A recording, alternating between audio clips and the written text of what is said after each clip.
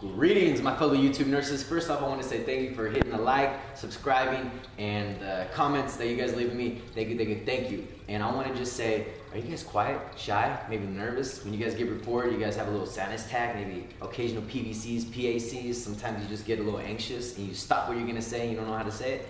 Don't even trip because it happened to me, it happened to a bunch of other people in nursing school because you have to learn how to give a good report to your doctor, nursing instructor, uh, fellow nursing student, right? So we're gonna give you some five tips. I'm gonna do it a little different just because I can't do it sitting down today. I got my ADD kicking in. So let's do this, guys. First off, foremost, I wanna say being nervous or anxious or just being shy is just an emotion. You'll get over it, right? Okay, girls have little emotions here. Guys may have an emotion. Sorry if you guys do, but it happens. Now, shyness is an emotion.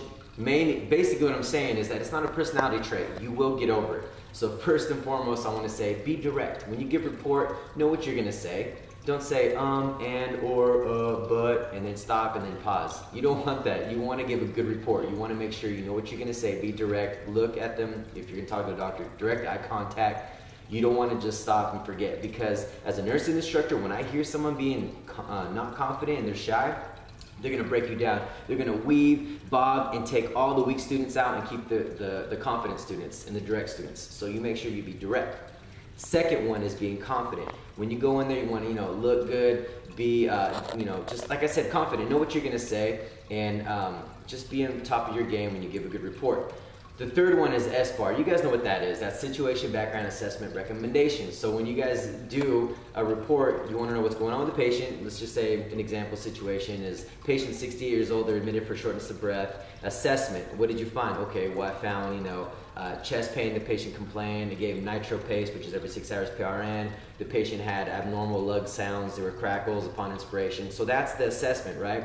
Now, the situation um, background, I'm sorry, and then assessment. And the recommendation, well, the recommendation I would say is call the doctor, you know, let's get, uh, I don't know, H and H was low at 6.2, maybe we can get blood transfusion to pack red blood cells. That's a recommendation. So when you give report, you want to do SBAR.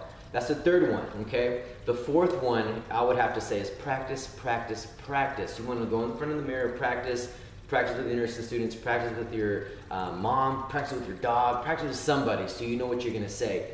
And the fifth, last most important thing is don't conform to standards. Basically, you know, uh, everyone, there's rules for everything you do, right? So if you go to a funeral, you have to wear black. If you go to a club, you want to wear nice clothes, whatever. That's kind of just following the standards of conformity.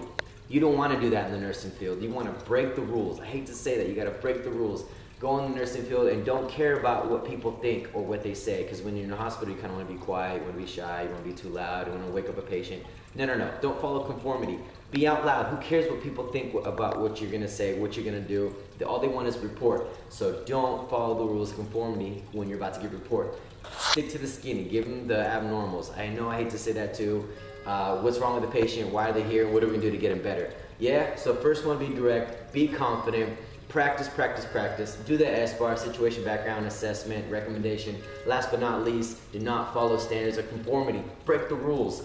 Yeah, so hopefully that helps guys get over the shyness. Um, quick story real quick when i was a kid i used to be real shy and i learned to get over it uh, also i got sent home twice from the nursing uh, hospital because of my instructor she said that i, I wasn't um, on point with my my um, report and some other things that happened but you learn to you know get over it guys what doesn't kill you makes you stronger. Yeah, write that down. Hopefully that helps. Follow those five rules. Get over shyness. Don't be afraid. Hit that subscribe button and like, guys. All right, I'm fellow YouTube nurses. I'm out.